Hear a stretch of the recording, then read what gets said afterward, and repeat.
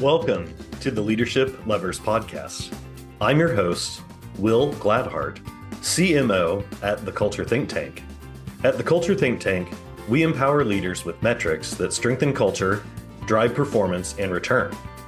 We're here today to learn about the actions leaders have taken to address organizational change.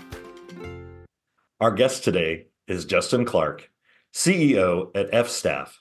Thanks so much for taking the time to join us. Thanks so much for having me, Will. So let's start by having you share with our audience a bit about yourself, your background, and your company.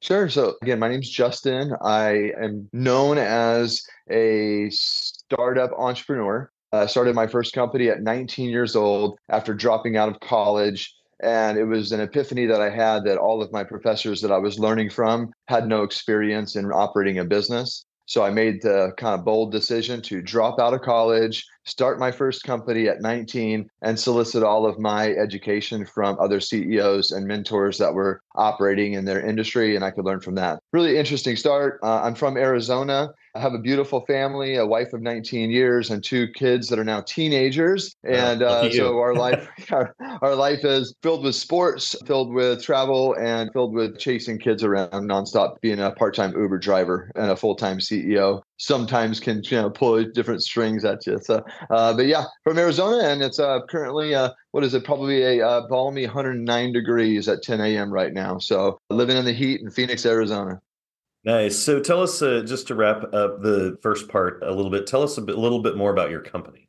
Sure. Company is called F-Staff On Demand. F-Staff is a staffing agency that focuses solely on placing commercial truck drivers with motor carriers that need drivers on demand. We've been doing it since 2001. As I mentioned, I started the company at 19. Our primary focus and sole focus has continued to remain in the supply chain category and expanding our business into more markets, more cities, more states to allow for us to offer more service offerings to our customers and bring more of our service offering, offerings to our truck drivers. Uh, so really a truck driver staffing company and you know we love what we do.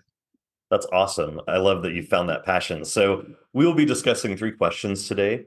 As a warm up to our conversation, would you share why you believe a healthy culture is critical? I would put it this way, you know, if uh, if the culture is the heart and soul of an organization, it's critically important. And it's funny when you start a business, you don't necessarily start with culture in mind, although some entrepreneurs absolutely do. The culture is a vital aspect to every company. And I, and I'll tell my friends that are in business, you have a culture whether you create it or not. So whether culture creates you or you create culture, it's definitely uh, an easier pathway forward to lead a company with intention and intentional culture, be it mission, values, you know, vision, things that are very clear for an organization to follow. It really does help continue to keep a, a successful life forward for any organization. Similar to how us as individuals need to focus on our hearts and souls of our bodies uh, to continue to lead a successful life, organizations need to continue to focus on their culture to lead a successful future for their their companies. Yeah, I, I love that you bring that up. That you have a culture whether you want one or not, uh, and you can either either start with intentionality and build, or you're going to be addressing it at some point, and it's much harder to change the course of the ship in midstream versus you know, hey, let's let's actually have a discussion around it from the beginning. So let's begin with question one. It's been our experience that leaders tend to struggle in three key areas: people, process, or profits. In your mm-hmm. role as CEO, would you identify which one of these areas presented a cultural challenge within your organization? Will, I would say, to be honest, it's a constant battle between all three right to keep a strong culture. If you if you don't have profits your people are going to continue to be disrupted right? Their future is going to be tough. If the process isn't followed the people are going to have issues. But i really stress the importance of the people. The people are the most important aspect of every organization, especially a service organization like our company is. For us, the biggest area for those three would absolutely start and always with people um, inside of our company. Yeah. So, was there a specific challenge or something that positively or negatively impacted your organization around people? You bet. I think the the learning moment that I had about the importance of people was really just a bad hire, right? And I think a lot of companies will have had this experience or will have this experience and and or may have it multiple times. But a bad hire really affected our organization negatively and it was difficult to see how far that negativity was sliding into the organization from that bad hire and so the bad hire that we had made was at a managerial level that was responsible over multiple departments. And while the manager was reporting uphill and giving good information and insights to leaders, the manager was just absolutely ruthless to everyone underneath. And us leaders didn't recognize that, that the manager was affecting the people as much as the manager was until we actually lost some other people in the process. So having a bad hire, especially a bad hire that is a toxic manager, can absolutely just add ripple effect of negativity inside of a company. So that was my learning moment to make sure that we slowed down our hiring process. So slow to hire, fast to fire. We want to make sure that when we're bringing people into the organization, we put them through multiple interviews and multiple screenings to really get ourselves a better captured understanding of who that person is for the future. So we get ourselves a better understanding of the people that we're hiring.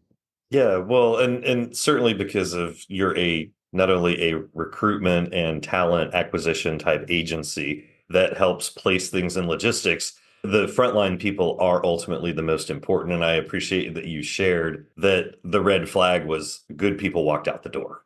And that mm-hmm. was because of the toxicity of the leader in that particular group or group of part of your organization. So great lesson learned. I really appreciate you shared that challenge. So, what is what is maybe the one thing that you have identified that helped impact your culture or your employees' performance uh, positively?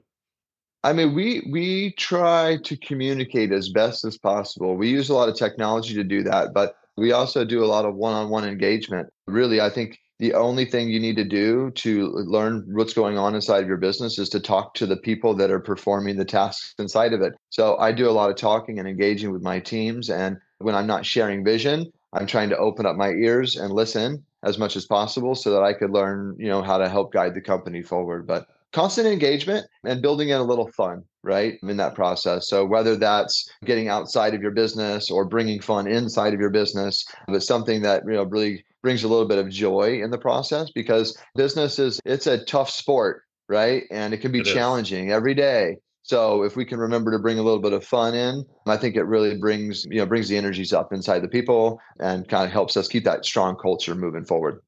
I really love that you shared that. I think that's a that's some really valuable insight of of keeping it fun, but also looking at doing it both inside and outside of the business. So, mm-hmm. is there anything else you'd like to share with leaders, or you know, as we kind of wrap up our session today?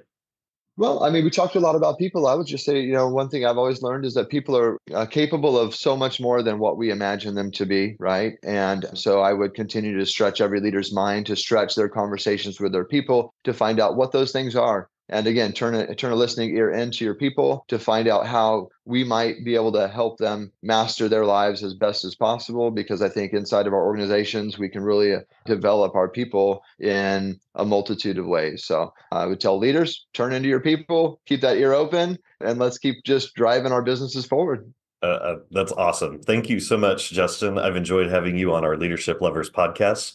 I appreciate your insights. Thank you will